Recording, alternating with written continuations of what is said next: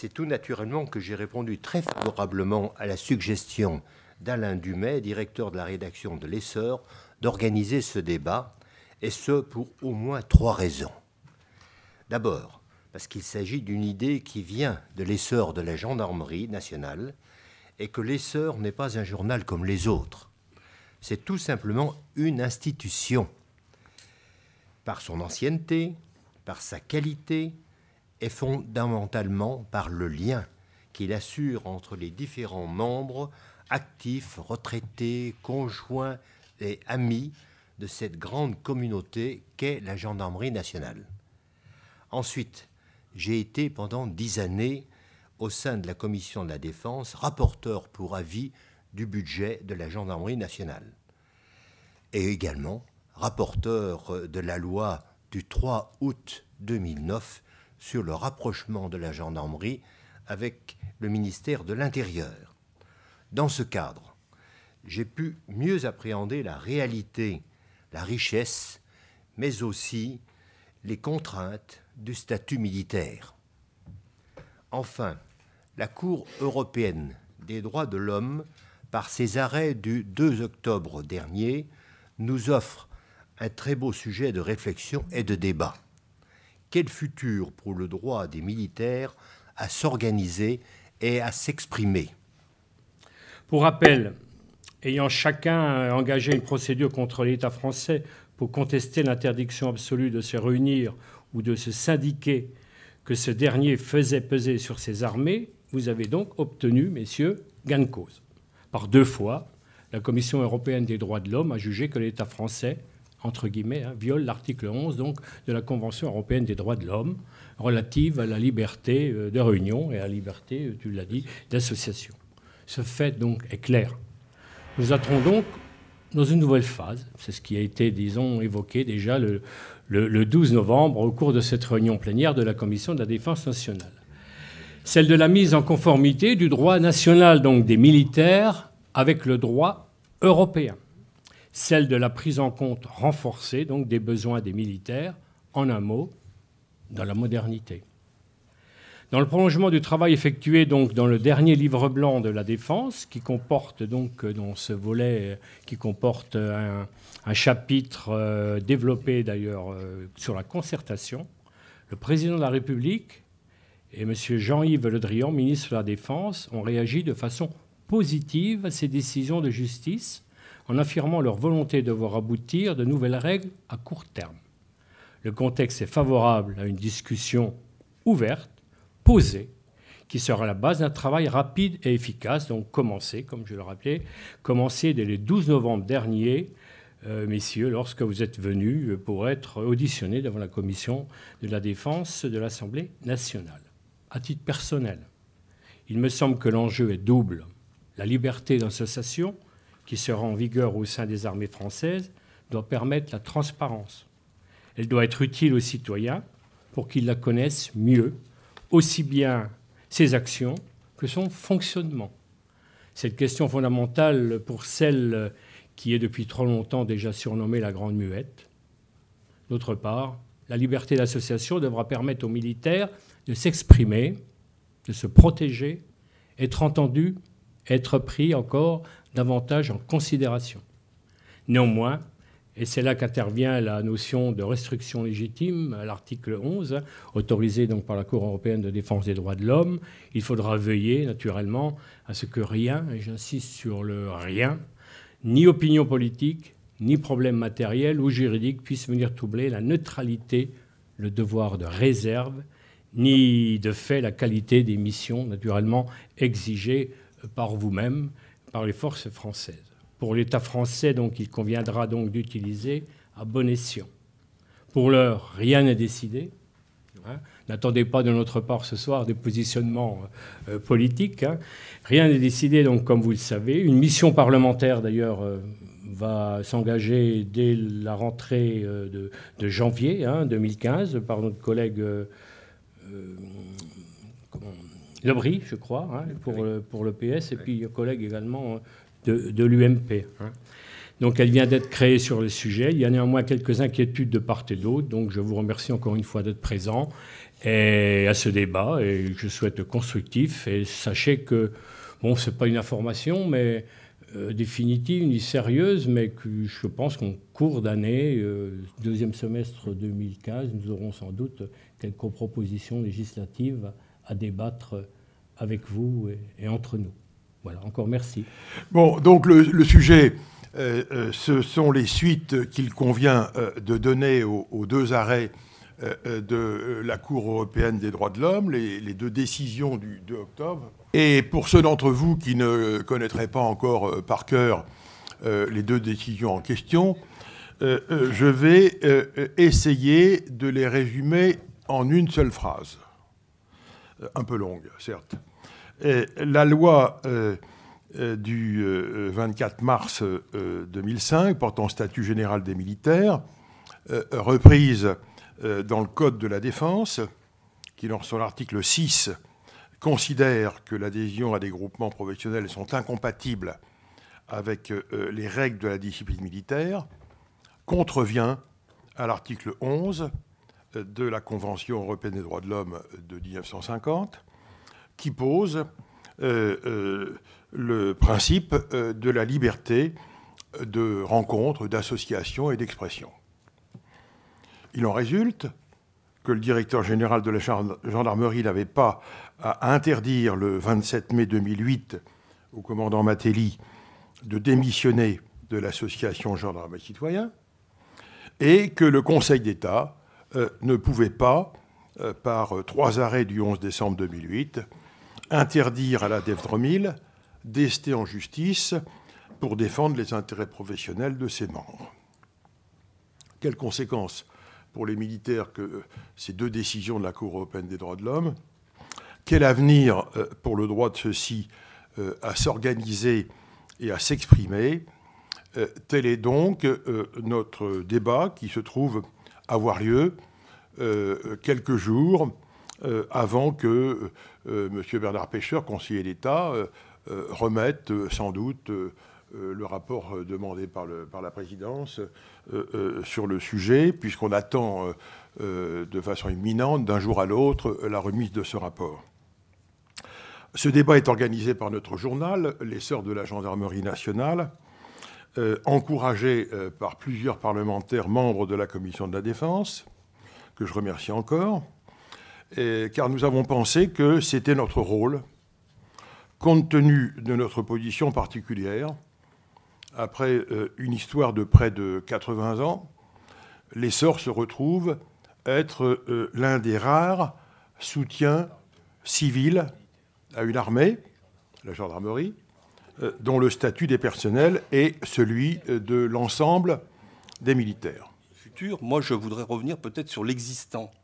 Euh, assez, assez rapidement, brosser un tableau, bon, qui n'est pas, je ne vais pas vous décrire toutes les structures, mais je vais peut-être le faire sous une, une forme différente, c'est-à-dire dans quel domaine la défense des intérêts professionnels peut trouver à s'appliquer. Et pour moi, il y en a trois que je, vais développer, euh, si possible, en dix minutes. Euh, donc le premier, c'est la défense de l'institution elle-même. Le deuxième domaine dans lequel euh, les intérêts professionnels peuvent être défendus, c'est celui des droits et des intérêts collectifs des militaires. Alors ça peut être des droits qui sont généraux, c'est-à-dire pour tous les militaires, ou ça peut être des droits qui sont catégoriels et qui vont concerner, par exemple, effectivement, les, les gendarmes. Enfin, il y a un troisième domaine dans lequel nous nous sommes beaucoup investis à la DEFDROMIL, c'est celui de la défense des droits individuels. La défense de l'institution. Alors pour l'instant, je dirais c'est le domaine privilégié des services de communication de la gendarmerie et euh, des armées, la DICODE. C'est aussi le domaine d'intervention euh, de la hiérarchie, euh, on a vu récemment euh, le directeur général, le général Denis Favier, intervenir après l'affaire de, malheureuse affaire de, de, Sivins. Mais il faut se souvenir, euh, pour ceux qui ne sont pas trop jeunes, qu'en 1985, après l'histoire du Rainbow Warrior, on avait vu le nouveau directeur général de la sécurité extérieure intervenir au journal télévisé pour annoncer qu'il allait couper, couper des branches. Hein.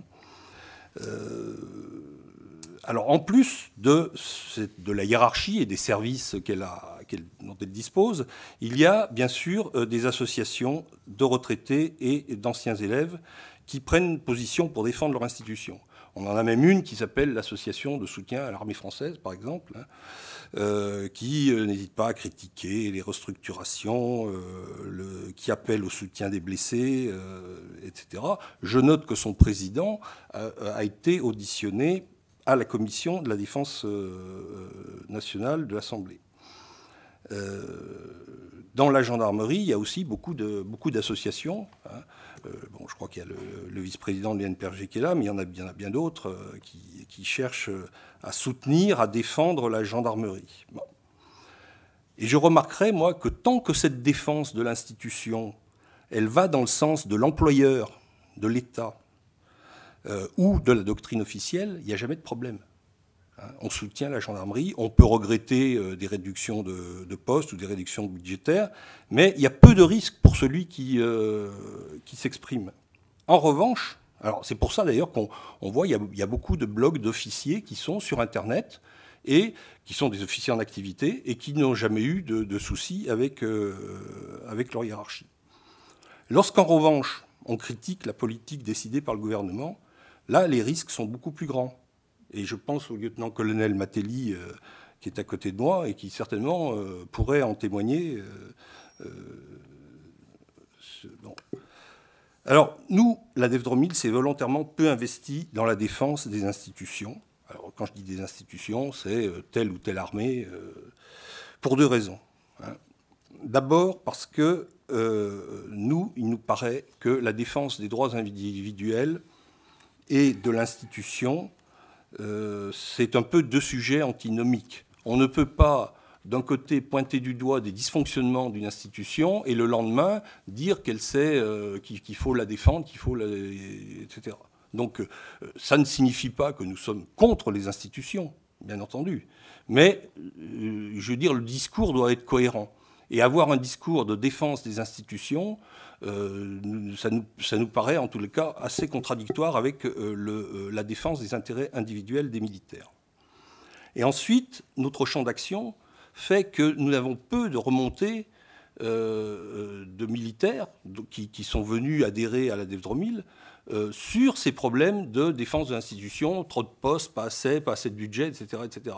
Donc finalement, si on intervenait sur ce sujet-là, ça signifierait qu'on exprimerait notre avis euh, personnel. Mais à mon avis, le rôle d'une association, c'est pas d'exprimer l'avis personnel de ses, euh, de ses dirigeants, c'est bien d'exprimer l'opinion qu'elle a été capable de synthétiser à travers les dossiers, euh, qu'elle a reçus.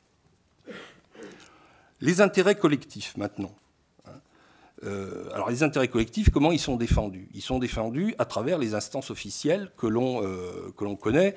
Vous me pardonnerez d'être peut-être un peu un peu euh, synthétique. Alors au niveau local, les présidents de catégorie, enfin la gendarmerie a, beaucoup amélioré euh, ce, dispositif, et les commissions participatives, et au niveau national, les conseils d'armée et le CSFM, qui a été créé, rappelons-le, en 1969, c'est-à-dire trois ans avant la, loi de 1972, qui, est quand même, qui a, fondé, je dirais, le statut général des militaires moderne. Euh, alors les critiques sont connues. Bon, je ne vais pas revenir. Manque de représentativité, puisqu'il n'y a, pas, euh, a pas ou pratiquement pas d'élection. Il n'y a pas non plus de, lien entre euh, les, instances de concertation locales et celles qui sont nationales. Euh, les représentants ne sont pas disponibles puisqu'ils n'ont pas de décharge de, décharge d'activité, si bien qu'on se retrouve par exemple dans les conseils euh, d'armée ou de CSFM avec 4, 5 suppléants et que c'est rarement la même personne qui, euh, suit, qui suit un même dossier. Hein. et puis manque de compétences parce que la formation, il faut dans, la condition militaire, il faut, être, il faut avoir des connaissances, bien sûr, euh, juridiques du droit de la fonction publique et il faut être formé au, dialogue, euh, au dialogue social. Bref, il faut parler le même langage que l'administration qui, est, euh, qui est en face. Alors tout ceci a été souligné à maintes reprises, notamment dans le rapport de 2011 de messieurs Gilbert Lebris et Étienne Mouru, aujourd'hui, aujourd'hui décédés. Hein. ce qu'on regrette, c'est de lire que euh, malgré ces défauts, qui, mais qui sont mentionnés depuis déjà plusieurs décennies, lorsque j'étais moi encore en, activité, euh, ces, problèmes-là existaient déjà. Eh bien, il y a, des, personnes qui consistent à dire que ce système fonctionne correctement, au, mépris de toute, de toute, vérité et de toute réalité. Bon, je citerai personne. Euh, alors, à côté de ces instances officielles, bien sûr, il y a des associations de retraités ou d'anciens élèves, alors qui, euh, ils me pardonneront de le dire, ils n'ont pas vocation au départ à, défendre la condition militaire ou les intérêts euh, des militaires. Mais à l'occasion, on sait très bien qu'elles interviennent sur tel ou tel problème, tel problème général qui a été amené à leur attention. Je ne parlerai pas en, leur nom, puisque je pense que le président de l'UNPRG le, le, fera. de toute façon, vous n'avez plus le temps. Euh, euh, mais euh, il me reste encore un paragraphe important. Alors, certes, je dirais, j'ajouterais quand même, ces associations, elles siègent au CSFM. Alors, c'était logique, parce que dans le statut de 72, la retraite était une position statutaire. Désormais, depuis la loi de 2005, la retraite n'est plus une position statutaire. Donc on peut s'interroger sur leur légitimité à siéger au CSFM, et c'est certainement quelque chose qui devra être euh, revu dans, euh, dans les discussions qui vont s'ouvrir euh, un peu plus tard. Troisième point, les droits individuels.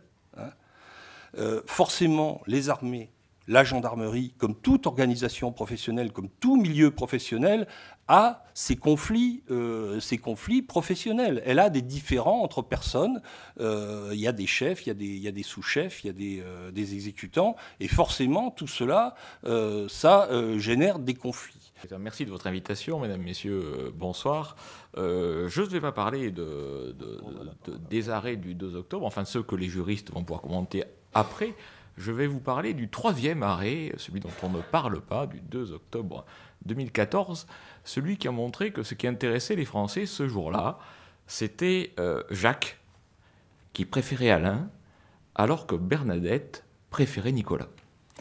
Et, euh, ce mode humoristique signifiait que si vous remontez euh, un peu plus loin dans l'histoire de l'armée de la République, un sujet de cette nature, par exemple au passage des années 1900, pas loin de l'affaire Dreyfus, pas loin de l'affaire des fiches, aurait créé euh, un bain de sang à l'Assemblée nationale, je suis fort heureux que ce ne soit pas le cas aujourd'hui, et aurait créé un sujet d'actualité dominant dans tous les médias, certes tous de la presse écrite à l'époque, en France pendant des semaines, parce que la place de l'armée dans la République était tout autre. Ce troisième arrêt du 2 octobre 2014 signifie en réalité, par un certain désintérêt, que cette armée n'est déjà peut-être plus celle de la République, celle des citoyens. Et en fait, tout le sens de ma démarche depuis de très nombreuses années, c'est de faire revenir cette armée, qui s'en est encore plus éloignée avec la fin de la conscription, de faire revenir cette armée dans le domaine citoyen, parce que je ne saurais concevoir au sein d'une démocratie une armée qui ne soit pas celle des citoyens. Et qui dit citoyens dit des femmes et des hommes qui ont pour l'essentiel exactement les mêmes droits que tous les autres citoyens, que le fait de défendre par la force des armes, et y compris au péril et au sacrifice de sa vie, la nation, justement la liberté de tous, ce n'est pas abdiquer la liberté, la citoyenneté que l'on détient comme les autres citoyens. Le citoyen de la République peut être un soldat, peut être un gendarme, peut être un boulanger, il reste tout le temps un citoyen de la République. Et quelque part, euh, ce que viennent dire pardon, les deux arrêts, eux, juridiques, de la CEDH le 2 octobre, c'est que les sociétés démocratiques modernes doivent retrouver, parce que ce n'a rien de nouveau, il y a 2500 ans, les soldats d'Athènes, de Rome un peu plus tard, sur la République, et même de Sparte, étaient en réalité, euh, même quand ils avaient revêtus le casque et l'armure, et surtout le bouclier de l'hoplite, restaient, étaient des citoyens à part entière. Même à Sparte, dont on peut difficilement condamner le caractère anarchisant ou gauchisant, excusez-moi sur le plan politique, euh, les soldats pouvaient faire condamner leur roi au retour d'une campagne militaire parce que celui-ci n'avait pas suivi les consignes de la cité. Ce que va permettre, j'espère, je le rêve presque tellement ça pourrait paraître naïf, euh, l'évolution du droit d'association des militaires, c'est d'essayer de, refaire rentrer dans le débat de la société ces militaires, ces gendarmes qui s'engagent au service de la collectivité pour recréer du lien entre l'armée et la nation. Parce que ce lien, et c'est ce que j'évoquais avec ce troisième arrêt du 2 octobre 2014, c'est-à-dire ce désintérêt manifeste de la population pour ce qui a risqué ou, ou ce qui avait une chance d'advenir pour ces armées, c'est de faire revenir l'armée de la République dans les préoccupations, dans les centres d'intérêt euh, des autres euh, citoyens. Et à ce titre, c'est évidemment euh, le devoir en premier lieu des militaires d'active, sans rien renier à tout ce qu'ont apporté, apporte encore et apporteront encore plus demain nos associations de retraités militaires, notamment parce qu'on voit bien avec l'exemple américain euh, qui, les États-Unis est engagés depuis maintenant de nombreuses années dans de dures campagnes et que le, futur des vétérans, et notamment des maladies, des affections qui se déclenchent des années après euh, la fin de la carrière militaire, doit être pris en compte. Et qui de mieux placé dans ce cadre-là que des associations de retraités militaires pour accompagner, suivre et attirer l'attention des pouvoirs publics sur la situation des vétérans.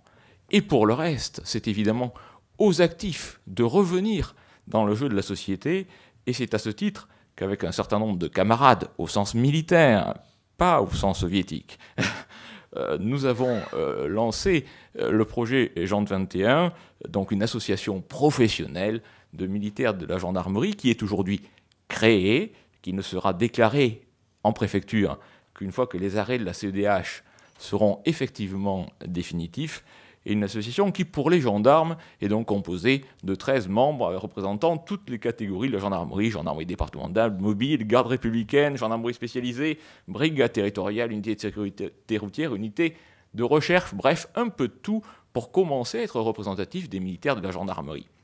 Nous souhaitons évidemment qu'il en soit de même dans les armées, mais la DEF Dromil est pionnière dans ce domaine, donc on, laisse à la DEF Dromil avancer. On espère que les militaires euh, suivront le mouvement pour avoir des actifs qui enfin peuvent parler, y compris de manière critique, euh, des politiques publiques en matière de sécurité et de défense, et qui soient en mesure de faire contribuer euh, au débat les citoyens à travers des échanges beaucoup plus transparents, beaucoup plus vifs que par le passé, parce que finalement l'arme absolue dans une démocratie, c'est pas euh, des avocats qui me contrediront, c'est le verbe. Bon, d'abord, euh, moi je suis ravi d'être le rapporteur. J'ai succédé, je crois, à, Alain Moine-Bressan.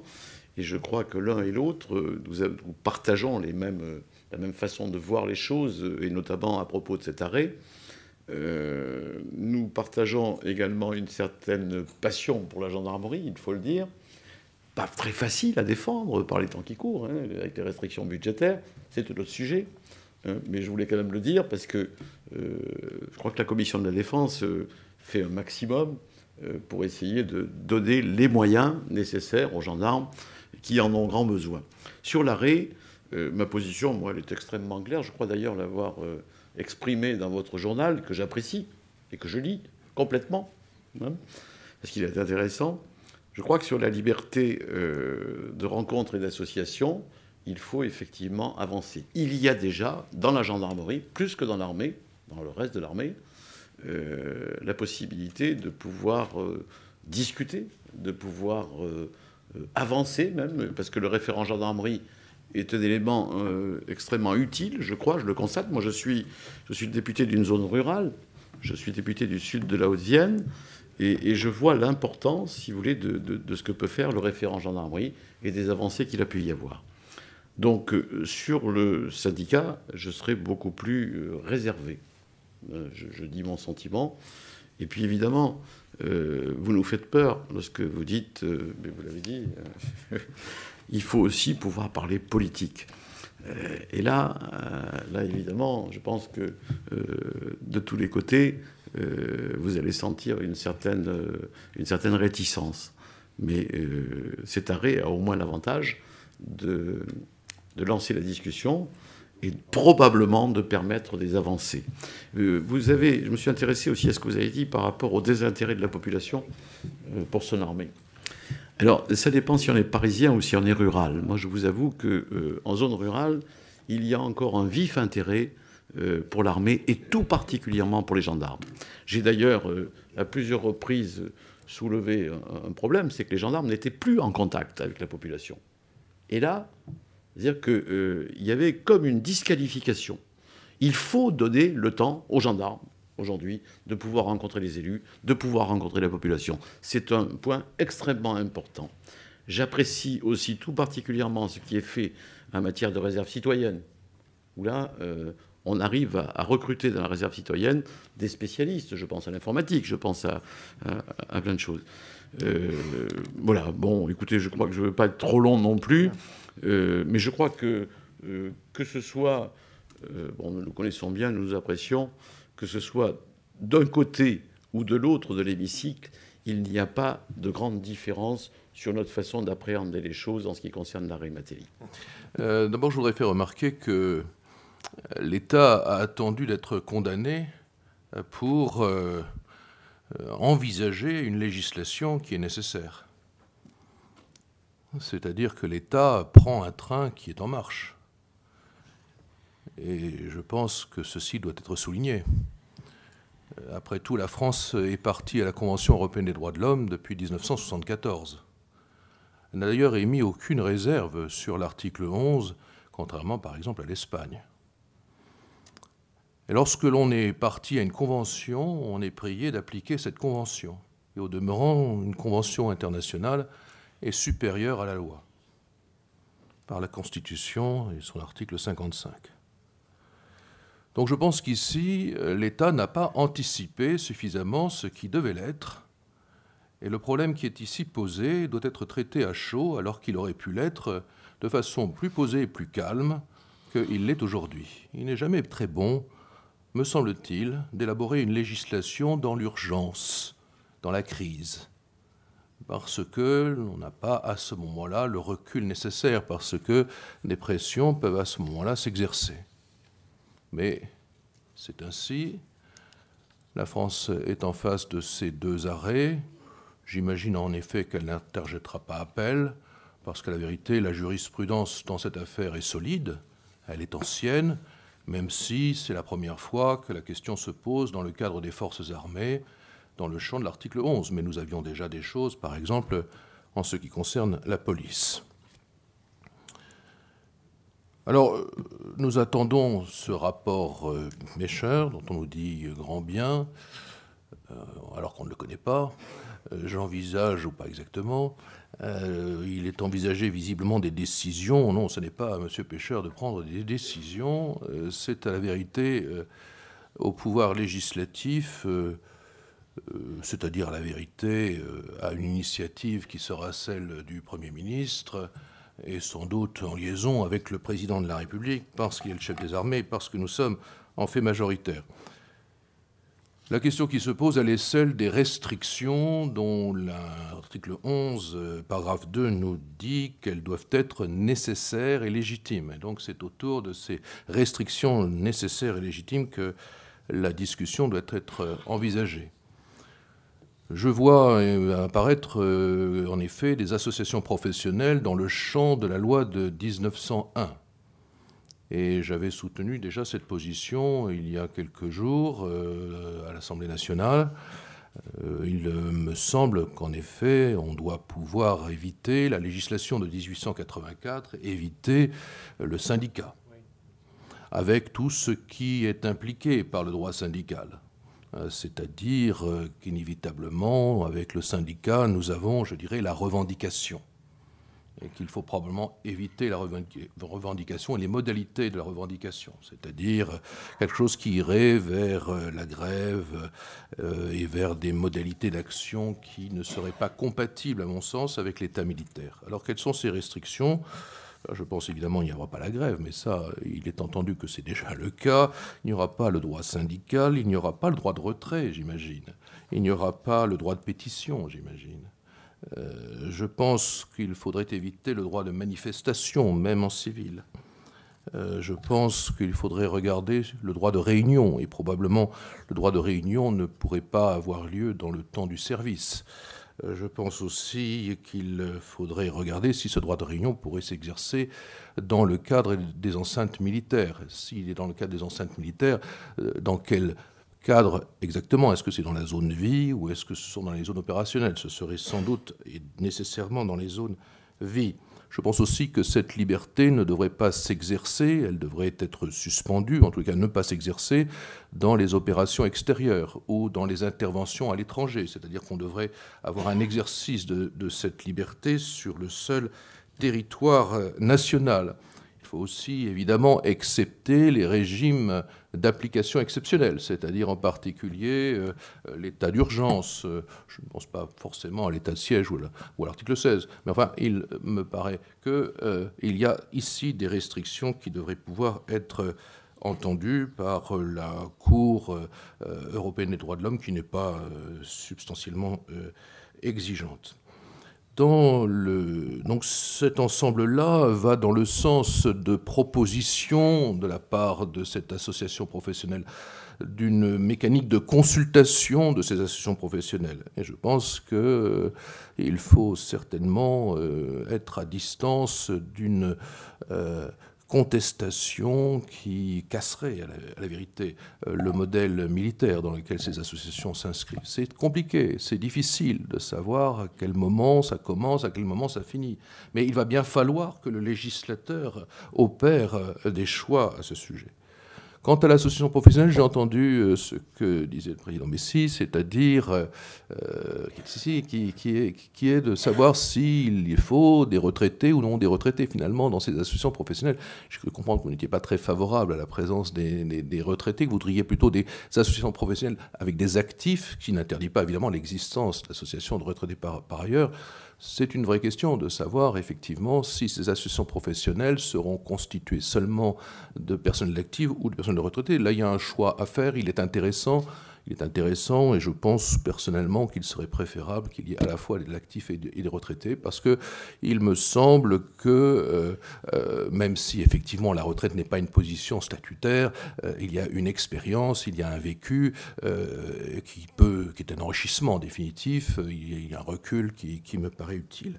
Alors faut-il d'ailleurs d'autres membres que les retraités? Après tout, euh, c'est aussi une réflexion qu'il faut avoir. Euh, je vous avais dit l'importance des femmes euh, dans l'institution, dans la défense professionnelle, particulièrement des femmes de gendarmes, ceci est bien connu.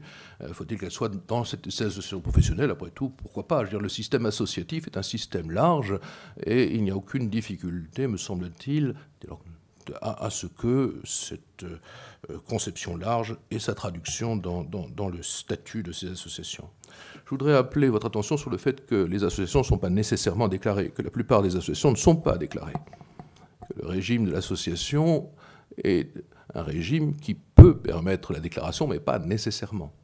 Je pense, et puis nous avons d'ailleurs des associations qui sont reconnues d'utilité publique. Nous avons donc trois types d'associations. Euh, je pense que dans cette hypothèse-là, nous devrions être en association déclarée et qu'il est nécessaire effectivement de bien savoir quels sont euh, les euh, acteurs de ces associations et qu'il y ait un suivi très correct de, des mouvements à l'intérieur des associations, car quand les associations sont déclarées, je ne suis pas absolument sûr qu'il y ait toujours les déclarations qui suivent quant aux modifications des organes. Le préfet de police devrait regarder un peu ce qui se passe dans ces services à Paris. Euh, la question de la représentation est intéressante. Vous l'avez, je crois qu'elle est évoquée par, elle sera évoquée bien entendu. Elle passe par des élections. À ces élections, bien entendu, seuls les actifs, ceux qui sont d'actifs, participeraient. Je pense qu'il faut l'envisager comme ça.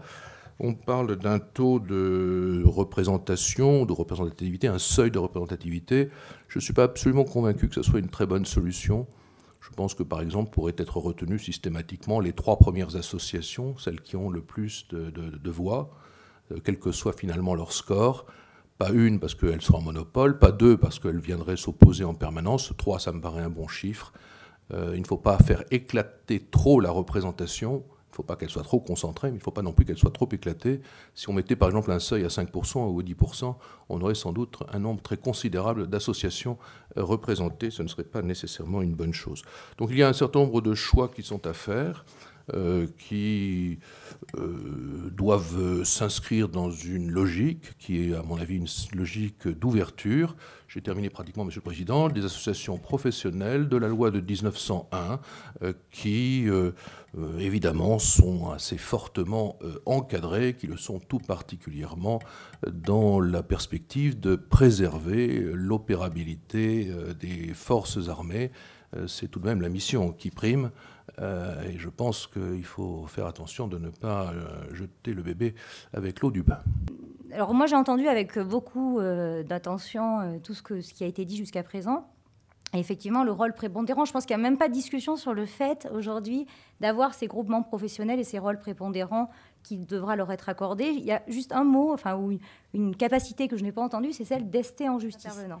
Euh, pour moi, c'est une absolue nécessité aujourd'hui pour défendre les intérêts individuels et collectifs des militaires, et parce que précisément, je travaille euh, et je collabore depuis maintenant de nombreuses années avec la DEVDROMIL, euh, et je vois cette collaboration avec la DEVDROMIL euh, qui est euh, aujourd'hui le seul groupement professionnel qui existe réellement, puisque c'est la qualification juridique que lui a donnée le Conseil d'État. Euh, je vois dans cette collaboration vraiment tous les outils pour permettre que les choses fonctionnent bien. en premier lieu, pour un avocat, ça permet de mieux aiguiller, de mieux orienter les militaires qui sont confrontés à des difficultés juridiques quitte même à se prémunir d'une judiciarisation qui est souvent redoutée. Hein. Il y a un an, on était euh, j'avais participé aussi à un colloque euh, de l'autre côté de l'Assemblée sur la judiciarisation et qui était euh, redouté. Et je crois, là, typiquement, je pense aux affaires de harcèlement moral, notamment, où parfois, les militaires sont confrontés à des situations qu'ils estiment être du harcèlement moral ou un conflit au travail et où une association telle que la DEVDROMIL ou telle qu'un autre groupement professionnel dans le futur va pouvoir leur expliquer, avant même d'aller voir l'avocat et de chercher une procédure euh, nécessaire à mettre en œuvre, d'expliquer, ben non, ça, ça peut être un acte de commandement, ou non, ce n'est pas du harcèlement. Euh, expliquer les choses simplement, sans pour autant, parce qu'aujourd'hui, le militaire est confronté à ça, un manque d'informations euh, très important. Et nous, enfin, moi, c'est aussi pour ça que j'ai participé à la rédaction du, guide des droits et démarches des militaires de la DEF 3000. où simplement mon cabinet y a participé.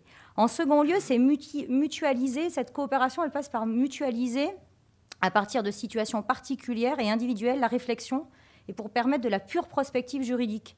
Parce que euh, M. Bessy, euh, le président de la dette vous en a parlé tout à l'heure, il a évoqué des, cas euh, de harcèlement moral où on avait été confronté à l'absence de demande d'avis du parquet, qui est une erreur à laquelle l'avocat procédurier, la, la, partie civile ne peut rien faire. C'est-à-dire que je ne peux pas suppléer le parquet qui euh, oublie, d'aller demander l'avis du ministère de la Défense et qui entraîne euh, la nullité de toutes les poursuites. Donc c'est quand même quelque chose de... Et ça, ça ne concerne que les militaires.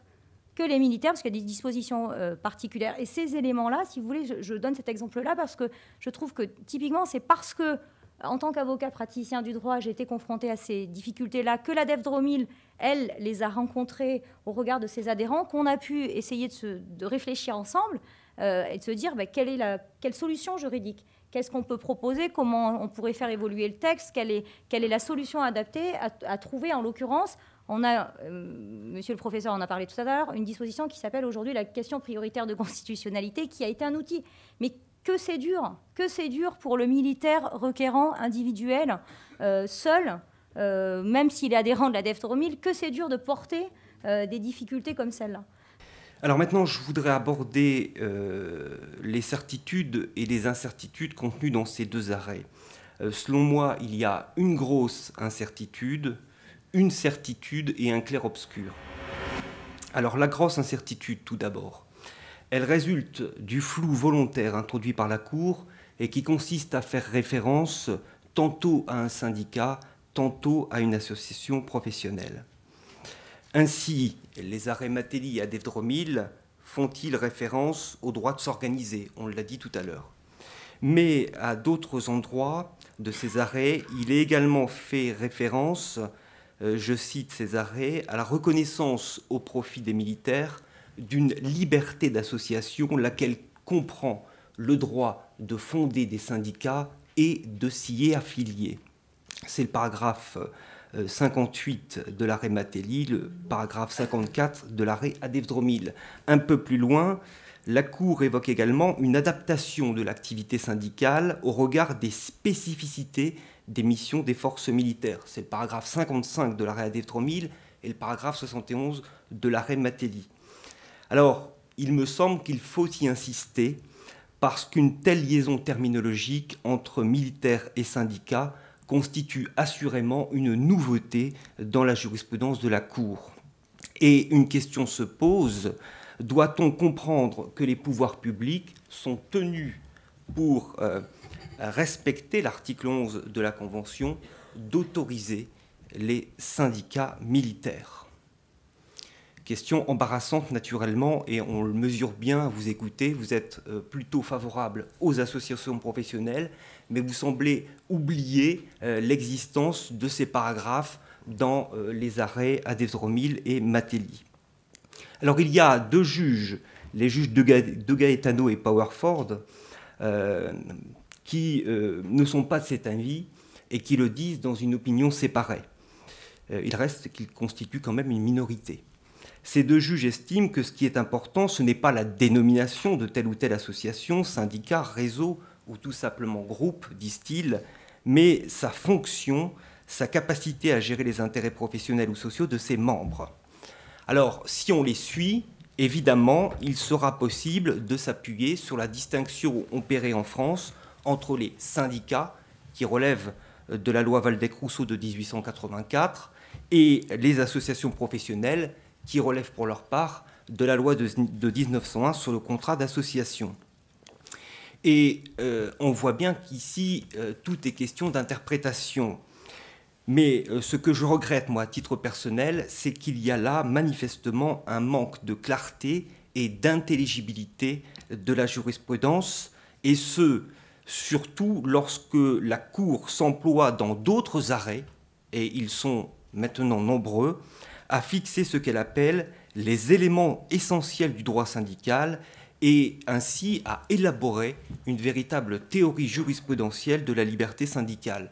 Pour celles et ceux qui n'en seraient pas convaincus, je leur demande d'aller lire le paragraphe 55 de l'affaire de l'arrêt d'Emir et Beccara. Alors, quoi qu'il en soit, il est certain qu'au minimum, la France doit accepter les associations militaires professionnelles. Voilà pour, euh, je dirais, la grosse incertitude. J'évoque à présent euh, la certitude. La seule certitude, moi, que je vois dans cet arrêt, c'est la référence au droit de s'organiser. Et non d'être organisé, ce qui est différent naturellement. Car euh, si l'amélioration, et c'est là où je reprends mon propos, l'amélioration de, des conditions de la concertation au sein des forces armées est souhaitable, à elle seule, elle ne suffira pas pour se mettre en conformité avec la jurisprudence de la Cour européenne des droits de l'homme. Autrement dit, l'initiative doit venir des individus et non des pouvoirs publics, à savoir que les pouvoirs publics doivent se contenter de créer les conditions permettant aux militaires euh, de s'organiser, mais il ne leur appartient pas euh, d'instituer de toutes pièces un mécanisme nouveau, comme par exemple une autorité administrative indépendante. En ce qui concerne euh, enfin le clair-obscur, alors euh, ce clair-obscur concerne les restrictions, et le professeur Olivier Gouin en a parlé tout à l'heure. Pourquoi? Pourquoi y a-t-il clair-obscur selon moi?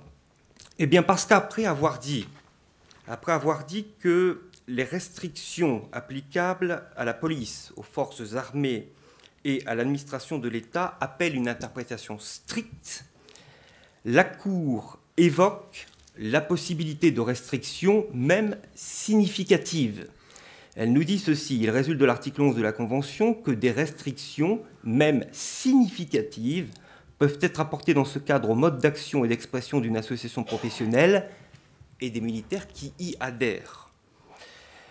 On notera au passage que dans l'exercice de son pouvoir souverain d'interprétation de la Convention, la Cour ajoute au droit, en faisant référence à des restrictions significatives. La Convention, elle, ne fait référence qu'à des restrictions légitimes. Il importe donc de prendre au mot la Cour de Strasbourg et de considérer que ces restrictions significatives constituent le moyen de réintroduire une marge d'appréciation non négligeable au profit du gouvernement.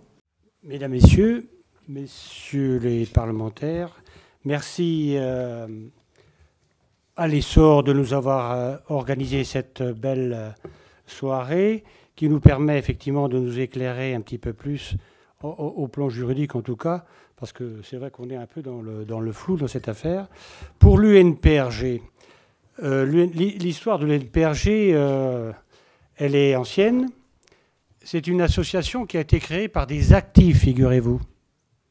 C'était des gendarmes d'actifs qui, à l'époque, euh, après la guerre, hein, euh, ont tenté de créer une association d'actifs, je dis, je répète, d'actifs, euh, dans un contexte, vous comprenez bien, de, avec des difficultés extraordinaires. Plus tard, bien sûr, cette association a dû faire marche arrière et, se contenter d'être une association, loi de 1901, euh, une association de retraités.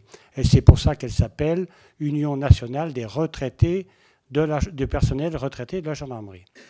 Donc euh, ça il n'empêche que tout au long de son histoire, l'UNPRG, avec l'essor, j'insiste, avec l'essor, a mené des combats, certes difficiles, puisque n'étant pas reconnue euh, comme euh, association professionnelle, bien sûr, a mené des grands combats euh, au travers du journal L'Essor pour la défense des gendarmes en particulier et a obtenu effectivement certains résultats puisque la publicité faite par un journal quand même connu, je pense, messieurs les parlementaires, euh, a permis euh, d'éclairer euh, le débat sur certains points. Je pense par exemple à l'intégration de la suggestion police, qui a fait à l'époque tout un.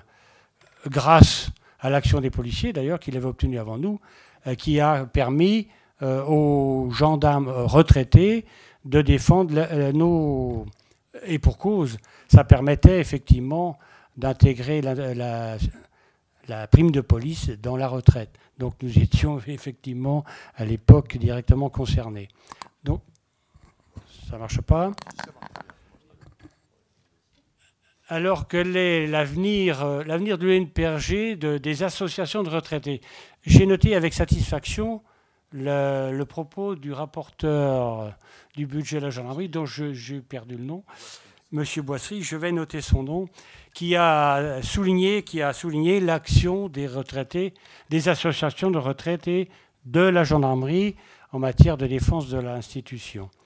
Donc, euh, ça, permet de dire qu'on n'a pas, on a quand même servi à quelque chose, euh, à quelque chose même n'étant pas une association à caractère professionnel. Alors, ce que je voulais, ce que nous voudrions dire nous, à l'UNPRG, puisque nous participons, euh, nous participons, je sors du CSFM dernière, la semaine dernière. Au CSFM, nous sommes euh, association agréée, et donc nous discutons de la condition militaire tous, les, tous les six mois. Hein. Donc nous sommes reconnus au, plan de, ces, instances de concertation, en particulier au CSFM, mais aussi au CPRM, au Conseil permanent des retraités militaires, qu'à l'époque, M. Hernu, ministre de la Défense, avait voulu créer pour que les retraités euh, militaires, toutes les associations de retraités militaires, puissent s'exprimer sur, euh, sur la condition militaire en général et euh, sur, les, bien sûr, les droits des retraités en particulier. Donc nous sommes partie prenante et agréés à ces deux instances importantes. Donc au CSFM, on a eu, enfin, j'ai eu l'occasion de discuter euh, de l'avis du CSFM concernant la, création de ces fameuses APM. Vous avez pour la plupart lu cet avis. Euh, personnellement, j'ai été assez étonné de la volonté des militaires d'entrer dans le jeu, si je peux dire, de ces associations professionnelles et euh, de l'avis rendu au ministre et à M. Pêcheur, euh, il ressort quand même que, semble-t-il, la majorité, en tout cas des représentants du CSFM, veut, euh, veut y aller. Donc, par contre, c'est posé le problème de l'intégration, ça c'est pour ce qui a été dit tout à l'heure, de l'intégration de ces futurs APM, associations professionnelles militaires, aux instances de concertation. Là, c'est posé un problème. Le vote a été assez difficile. Est-ce qu'on intègre la chaîne, la chaîne de concertation qui existe déjà, ou est-ce que l'on travaille à part?